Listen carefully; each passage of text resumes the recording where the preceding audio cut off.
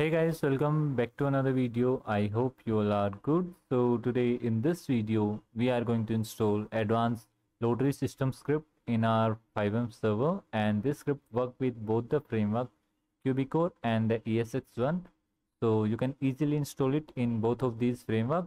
And I will mention the link in the description box. So you have to just go there.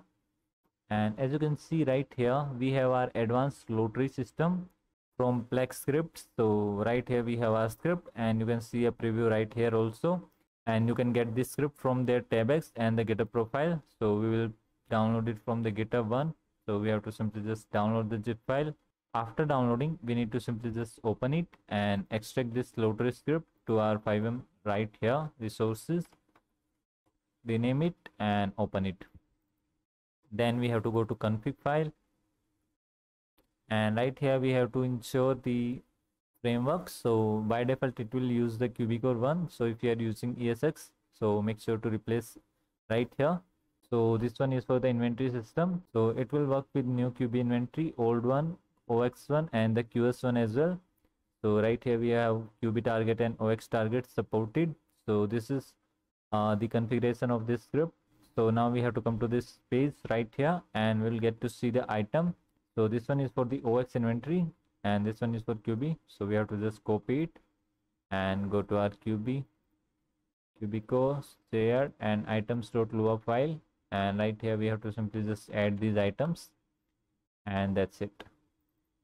Install and okay so we got the sql and the lottery system.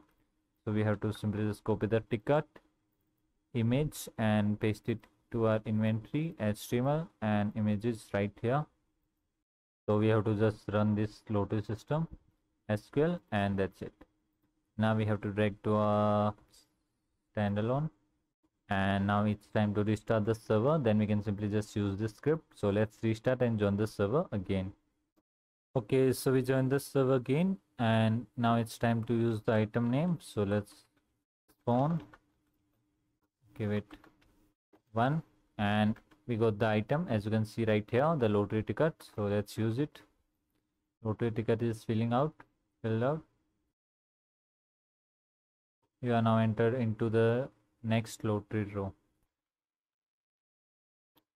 So we have to come to this uh, supermarket and right here you will see this type of lotto probe and here you can check your lottery price bin check your lottery bin uh, no one took part in the lottery or you are not the winner. Okay so this one is first and the second one is lottery states uh, like the price pool. So it's i think 100 euro and you can simply just set up it from the config file right here. As you can see increase amount per ticket 100 and let's spawn five more because the maximum number of entry is five and the higher we draw the lottery ticket the higher the chances of winning. So let's use one and right here you can see uh let's see again.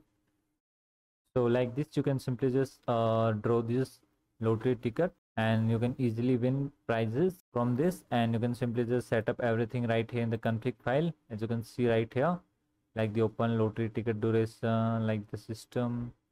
So i hope you guys like this script. And if you like it please make sure to subscribe and hit the bell icon for the latest video update. Till then we will meet you in the next video. Take care. Have a good day. Love you all